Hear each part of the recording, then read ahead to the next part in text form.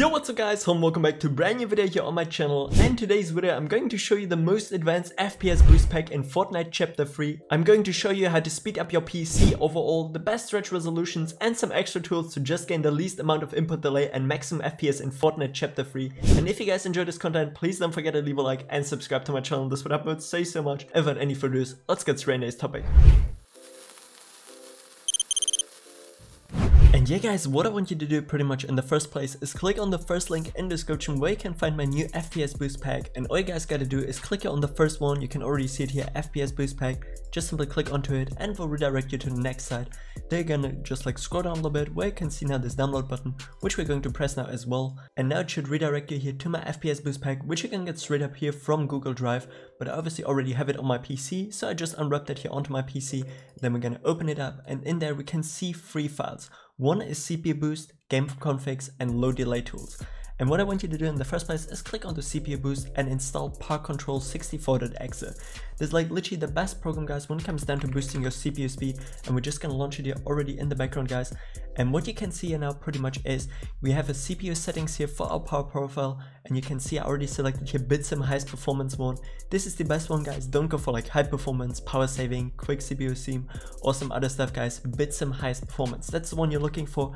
Just make sure that everything is running on 100% and what this tool will pretty much do is it's gonna make sure that your CPU is running at 100% and none of your cores are actually parked. You can see here 16 from my 16 cores are working at 100% guys.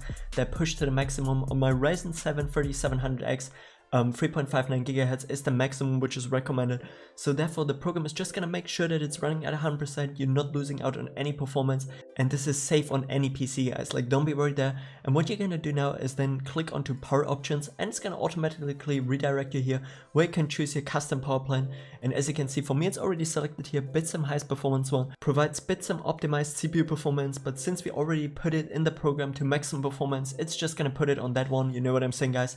And if you don't see it instantly, you maybe have to click here on to show additional plans, you know, and that should be in there. But as you can see, for me it's selected, so I can close it, and then we can also click here onto OK. And once we're done with it, guys, you can straight up uninstall this program. It doesn't have to be running in the background 24-7. And now let's continue with the next steps. And you can see, guys, we have now here the best game configs. And once we're in here, guys, we can see now that we have two files here, best comp config and low-end PC.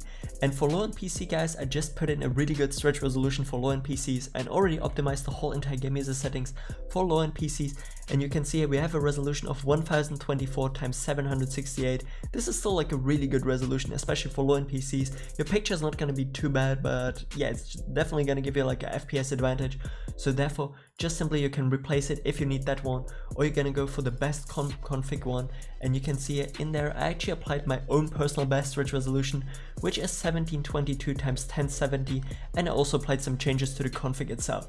So let's just say that we want to apply any of those here. We're just simply gonna actually drag it here onto our desktop guys. So we have it here the game user settings. And then in here we're gonna click into this space here type in percenter temp percenter and open it up. Then we're gonna click onto local, press F on our keyboard for Fortnite game, save, config, Windows client, and then we have those old game user settings, which we just straight up can actually um, delete here, and then we drag in the new ones. And um, just additional guys, to make sure that you don't change them by accident, make sure that the attribute read only is checked here guys, super important, and with that said, we're already done here as well. And for the final step guys, we have here low delay tools and I just can say guys, FilterKeys is still by far the best low latency tool which you can utilize on your Windows 11 or Windows 10 PC. And we're just gonna straight up run this program and you can see on stock usually the settings should be like 100, 100, 100 but I just straight up put like a screenshot in here actually where I'm going to show you all of the best settings and how to set it up properly. So therefore yeah, we're just gonna put it here actually next to each other and you can already see ignore under 0, 0 Ignore under 0 milliseconds, repeat delay 150 milliseconds, repeat rate 25 milliseconds, and on the right side you only have to make sure that on and available is checked. All the other ones should be unchecked guys. Then you're gonna click onto apply, but you're not gonna click onto OK. You're just simply gonna let this run in the background while actually launching Fortnite guys, yeah? So therefore, every time you wanna run Fortnite, you just pretty much take this tool here and put it somewhere on your desktop so you can find it easily, you know what I'm saying? And yeah, then it should be all like fine, just simply let it run in the background just simply let it run in the background the same as timer set resolution but as mentioned filter keys is a hundred times better helping you to make sure that your keyboard is as responsive as possible And with that said, we're already done here with this step as well. And yeah guys, this is it for today's video. If you enjoyed it, please don't forget to leave a like and subscribe to my channel. This would help me so, so much. And if you still have any more questions, feel free to ask me them down in the comment section below. I try to answer as many as possible. And with that said, have a great day, have a great night whenever you're watching this. And until next time, stay awesome. I'm out. Peace. That shit too light. Big foreign hoe, come get inside. Diamond Gucci link, come take a dive.